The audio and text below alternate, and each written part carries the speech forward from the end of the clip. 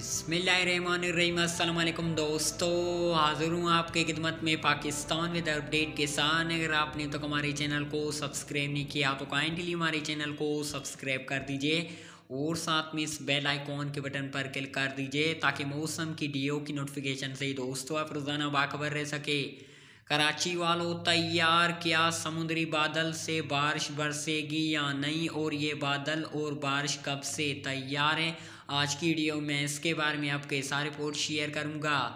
इस दौरान सबसे पहले बात करते हैं तो कमज़ोर मगरबी हवाओं का सिलसिला, कराची, सिंध में क्या बारिश बरसाएगा या नहीं, इस रिपोर्ट पर एक नज़र।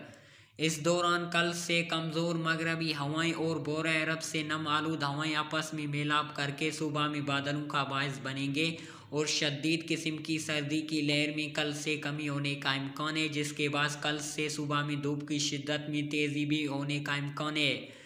नारिन सबसे पहले एक बात याद रहे कि ये समुद्री बादल सिर्फ़ खाली बादलों की सूरत में सुबह के बेशतर हिस्सों में दाखिल होंगी। कराची समेत सिंध के दीगर मुख्तलिफ़ शहरों में इन बादलों से कोई खातरखा बारिश का इम्कान नहीं है। सिर्फ़ अगर इम्कान बन गए तो हल्की बूंदाबादी या फिर हल्की बारिश हो सकती है।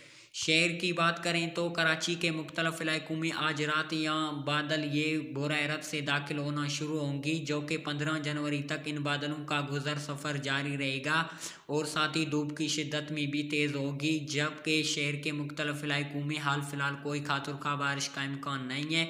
अगर इम्कान बन गए तो सिर्फ़ हल्की बारिश हो सकती है।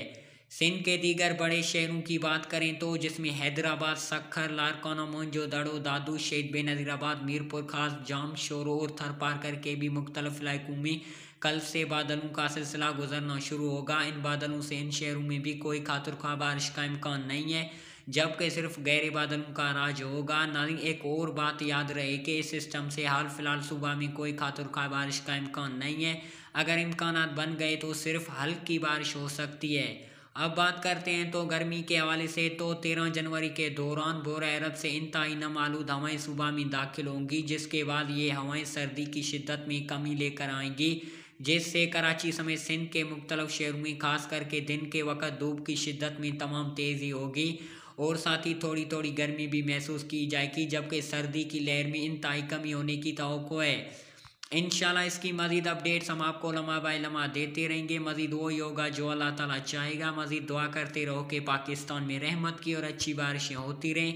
अगर आज की वीडियो पसंद आई तो इसको लाइक और शेयर कर दीजिए। लाइट मीन थंडस्टाम बारिश में मदल को रोज़ाना मौसम की अपडेट जाने के लिए हमारा यूट्यूब चैनल पाक धर्मेट सब्सक्राइब करना मत भूलेगा। तो मुझे दीजिए इजाज़त। कल तक के लिए अल्लाह हाफिज़।